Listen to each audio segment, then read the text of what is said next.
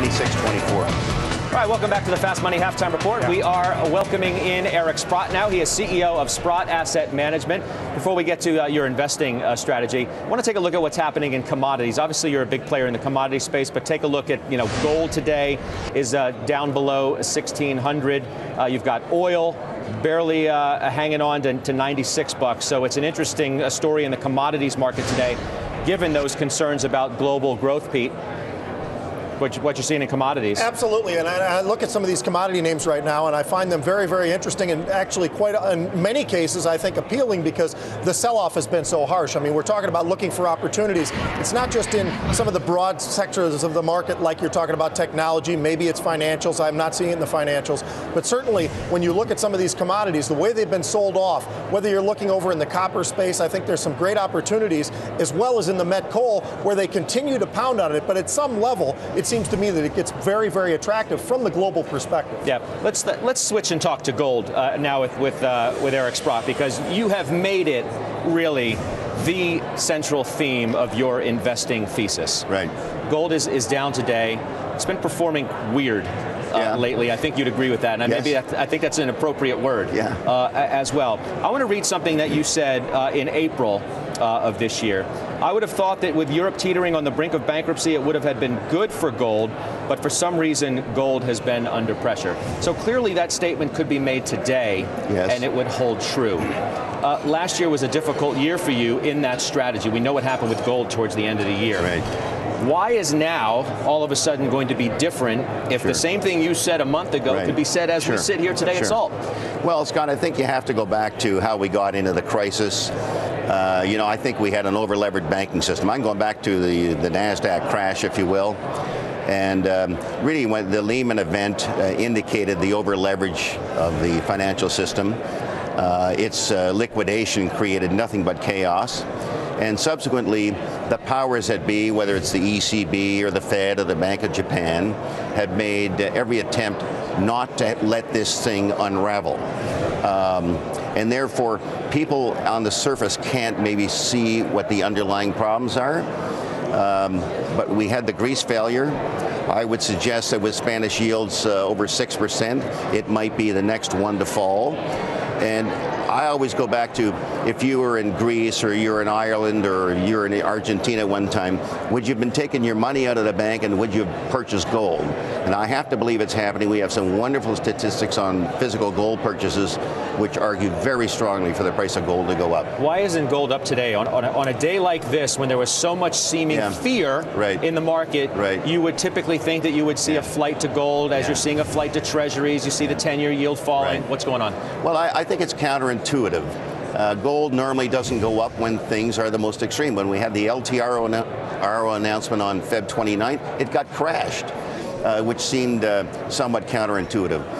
I mean, I'm going to fall back on Jim Grant's statement here on CNBC when he said, you know, all markets are manipulated, and we know the credit markets are manipulated. I suspect that uh, central banks that are fighting this contagion out there don't like gold going up. So I, I think it's always somewhat counterintuitive.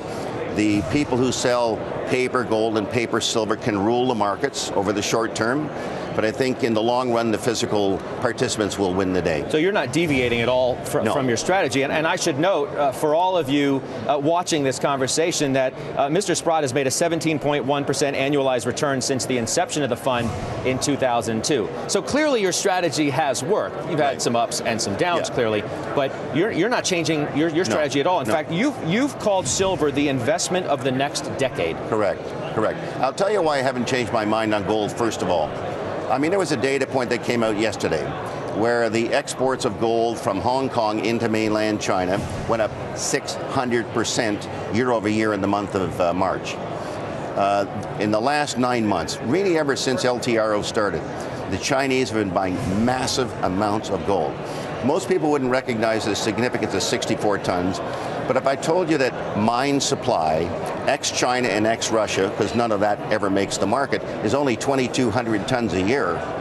When all of a sudden you buy 64 tons in a month, that's a significant part of the mining market.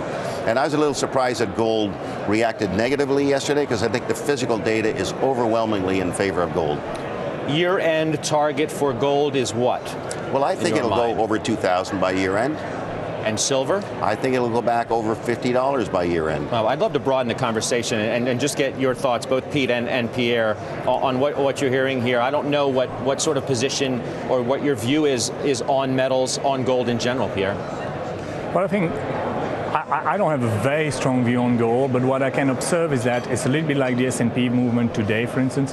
People are hiding in there. A lot of people are buying gold because they're scared and they're hiding in there. And if you ask them much more how to legitimate what they're buying, they don't really have a clue.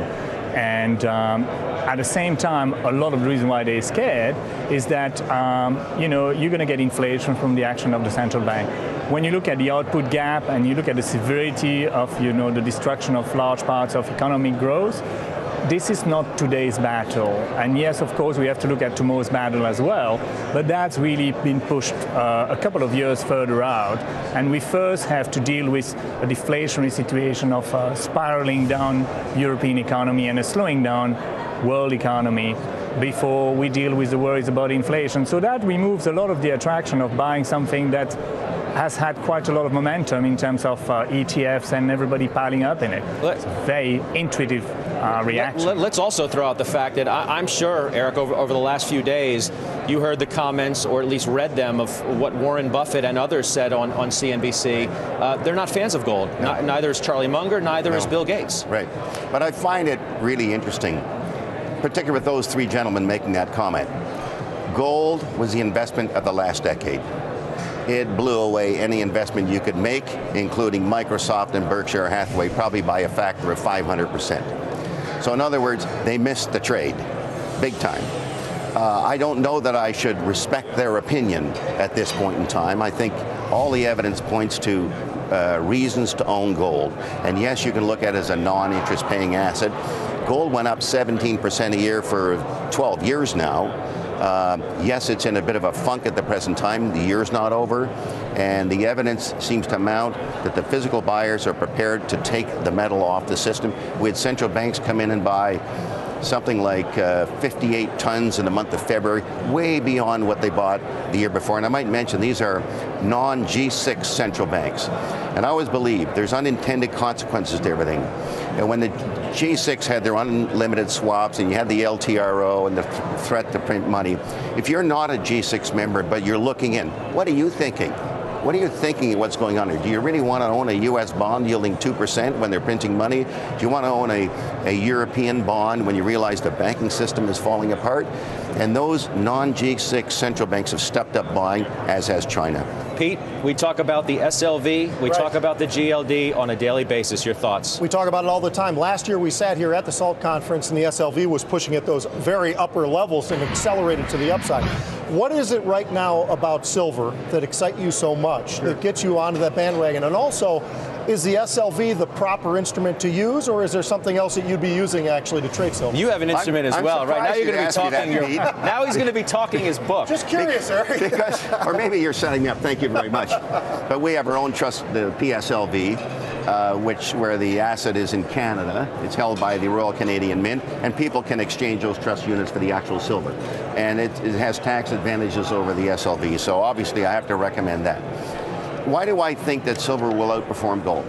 I look at uh, two or three metrics that su- suggest that to me. As an example, last year, the US Mint sold as many dollars as silver coins as, as gold coins. Same dollar amount. In other words, people bought 50 times more physical silver than gold. Um, when we did our last two tranches of the PHYS or Gold Trust and PSLV or Silver Trust, both of them raised $349 million. We bought 50 times more silver than gold. We don't force people to buy these things, that's their decision. I don't force people to buy coins at the US Mint, that's their decision. So if the common guy is going to buy silver in a ratio of 50 to 1 to gold, but it's only available at 6.5 to 1, I have to believe the price of silver is going to outperform gold. Yep. All right, more with Eric Sprott on the other side of this break, including the areas he's short in the market. And later, as the yield on the 10 year cracks 1.8%, BlackRock's Rick Rieder will show you how he's playing it. More halftime report live from Salt in Vegas is next. The halftime report is sponsored by Fidelity Investments. Turn here.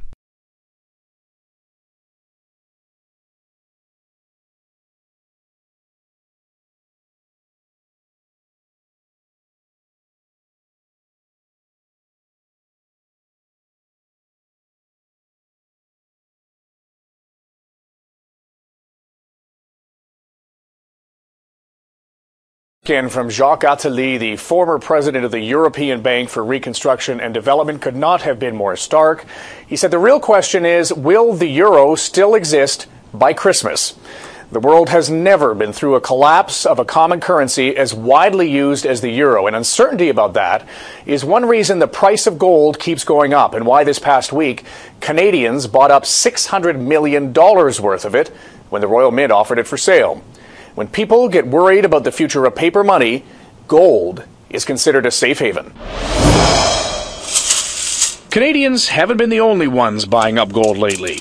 After 20 years of selling their gold reserves, central banks around the world have abruptly reversed course, adding 150 metric tons of gold to their currency reserves in only three months.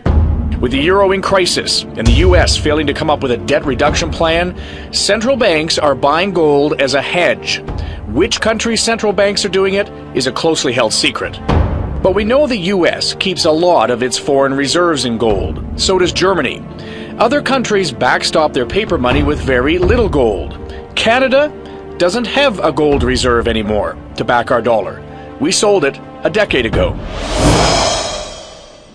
Well, Eric Sprott has been named Canada's top financial visionary this year. He's respected worldwide for his opinions on gold and silver and investing. He's attending the 10th anniversary of the business school at Carleton University, which bears his name. Uh, Mr. Sprott, does the fact that Canada holds no gold reserves to back its currency anymore put it at any greater risk uh, with all the money that's being printed around the world right now?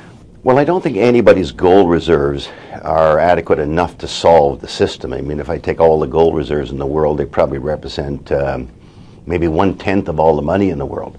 So there's no way you can back the currencies with gold. Uh, it's unfortunate that Canada, uh, back in the early 2000s, sold all their gold.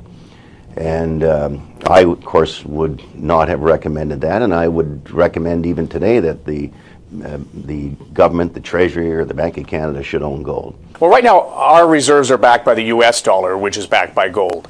Uh, the Bank of Canada Governor, Mark Carney, this month insisted that paper money isn't going anywhere, but as you well know, the euro looks to be in uh, pretty serious jeopardy this weekend. Yes. So, down the road, could our currency be in trouble without gold reserves? Well, uh, Kevin, I take a, a pretty broad view when it comes to gold, and you know, my own view is that the market has already made gold the reserve currency. The market has, not the central banks, not the governments. And um, uh, ultimately, I think these currencies are going to be, have to be backed by something tangible, which really means gold and silver. So the fact that we don't have any gold puts us in a, a, a weakened position. So um, I think it would be important for us to reestablish those reserves.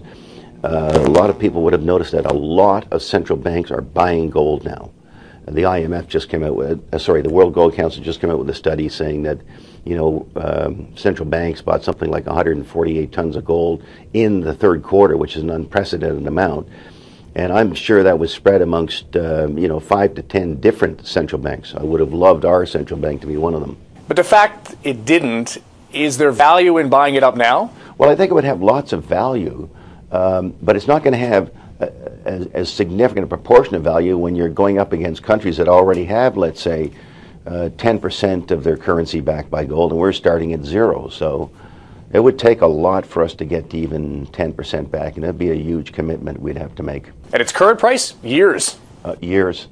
well, you've been saying for months now that Europe's banking system is worse off than anyone is willing to admit. And uh, as you know, this past week, five, maybe six big central banks, ours included, flushed the system with cheap credit and moved reserves among themselves.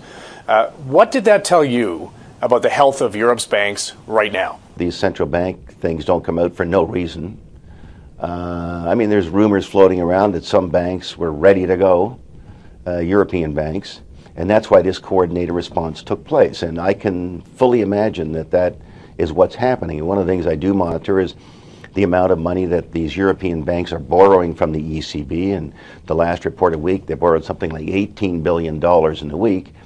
And there's only one reason banks have to borrow from the ECB, and that's that's because money deposits are leaving, and they, they they either can't sell an asset, which they probably can't, and therefore they have to go to the central bank to um, to pay off the depositor. Mr. Sprott, thanks for joining us.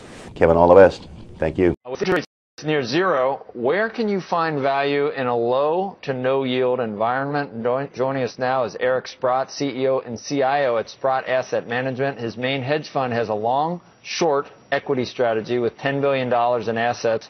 Over 80% of his fund is allocated uh, in precious metals. And uh, is there anyone that likes QE3 more than you, Eric?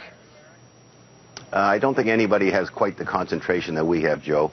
But we're happy to have it, by the way. yeah, happy to have the concentration and happy to have uh, uh, QE3. Um, at this point, I mean, do you ever take off some positions when, when you've gotten what you wanted? Haven't you gotten most of what you wanted already? And, and, and aren't you thinking about maybe standing to the side or no?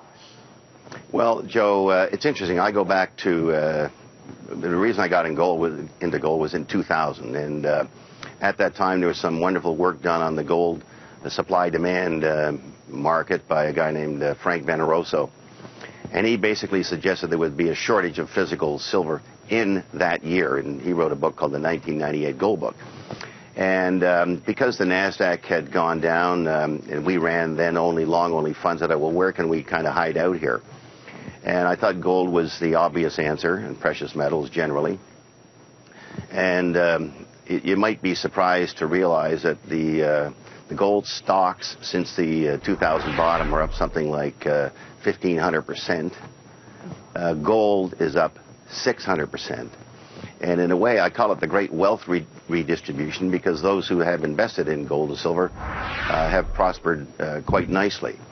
Uh, to your question whether I want to stay with the trade, the reason I would stay with the trade, and you mentioned QE3, um, I never would have imagined when I got involved in gold that I would have the benefit of kind of irresponsible money printing, uh, bank runs that are ongoing, as we've witnessed in various countries in Europe.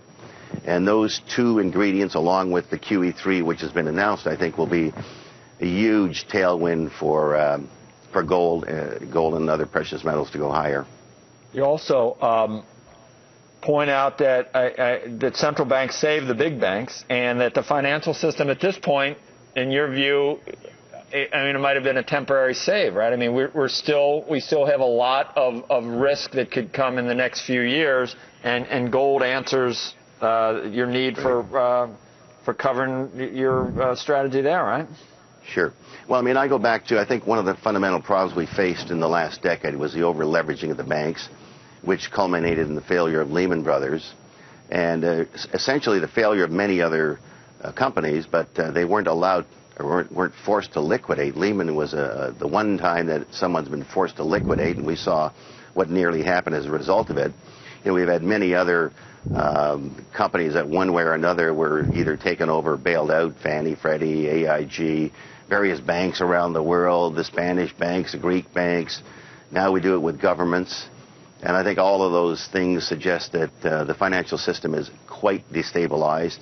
And um, I, I, agree with uh, Governor Plosser of the Fed that um, QE3 is not likely to work, just as QE1 and QE2 didn't work. When we look back at you know where we were and where we are, and we've had all this printing and all this deficit creation, and, you know, we really have accomplished nothing. In fact, we've gone into reverse in terms of job losses and numbers of homes sold in the year and cars sold in the year. So I don't see the, uh, the QE3 as being uh, substantive in terms of helping the economy. Eric, it's Neel Kashkari. As you, as a big gold investor, how do you think about the future of inflation? At PIMCO, we're always debating is the future 3% inflation? Is it 4% inflation? With all this money printing in the U.S. and in Europe, there's a risk it's higher than that. Do you have a view? Sure. Well, Neel, thank you for the question, and I, I find it rather interesting. I, I read Bill Gross's articles, and I could see going back to May that looked like Bill was uh, shifting his stance somewhat when he, in that May article, suggested you know maybe real assets are a better investment, and subsequently he said, well, he wasn't sure about stocks and he wasn't sure about bonds, and you know he's tweeted that maybe gold is a buy. And I think that uh, inflation is likely to heat up. I mean, I think it's continually underreported. For the average person in the 99%, I don't think they believe for one second that inflation is 2%. And I think that uh, as incomes aren't going up by that much, the whole 99% is under extreme pressure here. I think it creates more stress on governments and the banking system ultimately. And you want to have your your assets in something that's that's real that can benefit by the debasement of currencies that's basically going on in uh, all the developed world's central banks. Larry? Uh, the, the, the, real question is timing. Um, you know, when do you think this is all going to come apart? I mean, the the end game has got to be that you can't print money to get yourself out of a problem, but you can print money for quite a while. So, uh, yeah. is this going to go on for one year, two years, six months, or ten years? Yeah, well, it's a great question. And uh, when you ask the question, when do you think it's going to fall apart? I mean, I probably would have thought it would have fallen apart many years ago. Uh, but I never would have imagined that we would have bought into money printing. I mean, it just seems rather extreme to me that as investors we accept it as a palliative to the situation, which it certainly is not. So um, we can keep the markets buoyed. I think uh, Chairman Bernanke basically measures himself by how he deals with the stock market and how he deals with the housing market. Uh, they have been kept up here by the hope that something's going to happen, but I think when you re- review the results of QE1 and QE2 post QE1 and 2, you realize that the market gets into a bit of a funk. Maybe we're in that funk here right now that we kind of have come to grips with the fact that yes, it's been announced, but maybe won't do anything because most of what's being done is to help the financial system, not necessarily the uh, the man on the street. You know, we talked about some dire stuff earlier, uh, Eric. I, I, I, you were not predicting that, but I guess uh, there's a, a, certain probability to, to some really frightening things happening within the next 10, 15 years, I, I, I guess.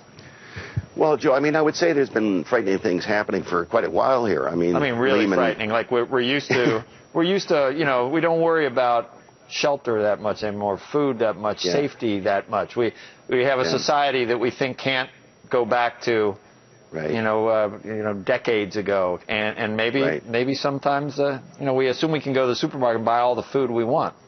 Right. Well, quite frankly, I don't really, I don't often go there. I mean, it's, it's, you know, know, that it's a worry, and I'm more interested in the investment field and what we do about it as investors. Yeah. Well, hopefully, you'll be able uh, to go right. buy with, with with the money you make. Hopefully, you'll be able to go buy a store that actually has those things, uh, you know, and, and not get uh, killed on the way to the store. Uh, I, I see what you're saying. We, it's, there's, there's a time and place for for that, but you know, with gold bugs, we always got to ask that question because I know you guys all got the you know the holes in the backyard and all the bottled water and everything. So I know you're ready if something does happen, right? Well, um, I think you have to be prepared for reality, and, and you know. Well, uh, and when we see what's going on in the world, I mean, it's it's you can, one can hardly argue that uh, uh, prudence is uh, is very much warranted here. I, so. I, made the mistake of watching The Road with uh, with the what's he, Viggo uh, Mortensen, Mortensen, and uh, I'm petrified. I, I'm, you, I'm going to go take karate and, and carry around about a gun and two thousand dollars worth of gold everywhere I go. Eric, thank you. Right. I appreciate.